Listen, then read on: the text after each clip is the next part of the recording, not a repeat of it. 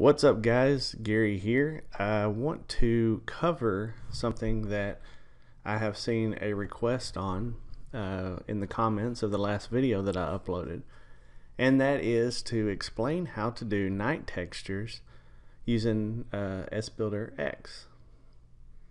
So, in the past, I've shown you. Let me pull this up here. I switched to uh, Windows 10, by the way, if you hadn't noticed, and I don't know. I'm still getting used to it. Um, a lot of things are different. A lot of it is the same. A lot of it is a little smoother, you know, and whatnot. But either way, we'll figure it out.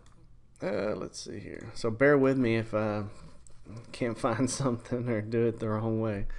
So, uh, anyhow, what I was saying was in the past I've shown you how to make, of course, your base satellite image from your uh, work folder, you know, uh, just the satellite map. I'm not going to re-go over that. That's all in the basics video. Um, then, of course, we have our blending layer, which is underscore B with a TIFF. These are fall, spring, and summer textures, which are basically not much different where I live at. Then you have your winter textures. And then W is for our water, you know, for that little patch of water right there and if you remember the blend is gets rid of the the satellite trees so we can make our own.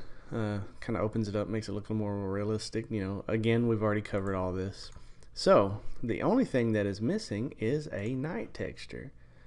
Because if you've flown over your photo file you've probably noticed that it glows in the dark. That's because we do not have a night texture assigned to it. So all you have to do is basically your your base one here, however you have it layered, that's for like the I have my guides hidden by the way. That's for the Gmax ground file. Anyways, all you need to do is just create a layer on top of your your base satellite and you're going to paint this thing 100% black. That is 000. Zero red, zero green, zero blue. And that layer will be zero. Now, if we were to open this up into the sim at nighttime, it would look about like that, depending on the time of day. You know, you can just adjust this slider here.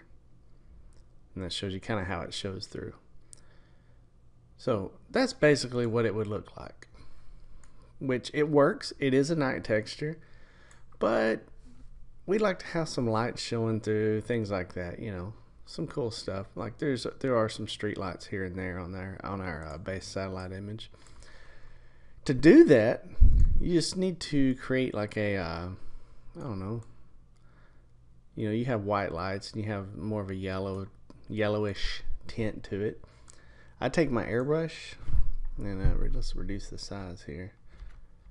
Yeah, here we go. So there's like a house right here, as you can see. Um, we're just gonna paint it. Just paint in where we would think a, uh, a light texture would be. Things like that, you know. You just you're just painting it in. That kind of looks like crap. That looks like crap. Don't do that. Let's make it a little bit smaller. Things like this. Okay. And you can kind of make it a little bit darker, a little more pronounced. And if you want to, um, let's say, I don't know, make it so this light illuminates an area here. All you do is just uh, change your opacity a little bit here and just kind of color it in. So therefore we have our light and then we have the light it casts on the ground. Do the same here. Normally I'll do something like this. Just kind of click it in there like so. We're gonna have a street light here. We'll put a street light here and then there is actually one right here on this corner in the real airport. There's one out here that lights up this whole parking lot. Hear me click, click, click, click, click. uh, whatnot. Just go crazy. You know, wherever you think a street lamp would be, it is time consuming, but, you know, makes it look good in the end. And put that back up to about 30, 25, 30 you can go ahead and put your light in there. That's where their light's going to be. This is where the light will live here. And just like that. And then you go ahead and change that back to 100. And there's your night texture. Now, if you want to do roads and stuff like that, you can do that. You're just basically going to draw your line and just, you can color it that way. You can do different types of blending layers, whatnot. So once you get that done, you're going to flatten it. Like I said, this is very cut and dry, very basic. I'm trying to do this video in less than 10 minutes. and you're going to save this as a TIFF file, just like the others. This will be underscore LM for light map. We're not compressing it or anything like that and close that down. So go back into here, tools work, and now we have a light map. So anyhow, that's how you make a night texture. And the sim itself will go ahead and blend it. It won't be pure pitch black. You know, the sim will blend it in with the rest of the scenery textures. And if you're kind of curious as to, you know, what, what they use for default, you know, you could always go into, uh, I don't know, um, let's see, let's go into uh, Prepar3D into their scenery world texture. Let's see here. Let's see what they got here.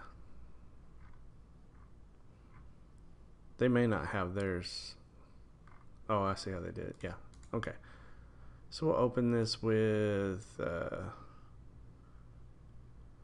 eh, I want to use DXT bitmap. See, I told you, I'm still, I'm still, still trying to learn learn this. I drug it onto my other screen over here. There we go. And see how they have it kind of blended in a little bit. You can do that.